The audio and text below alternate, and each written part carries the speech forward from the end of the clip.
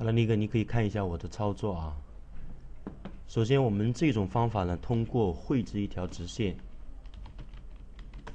啊，它的方法是通过这样的已知直线的长度和角度，有有这样两个内容。那我们怎样去绘制这样的直线呢？第一步，比如说我们已知一条线的长度五百与水平面呈六十度的角度，绘制的过程中，首先选中直线，确定一个点，这个点你可以任意的来单击，比如说这儿。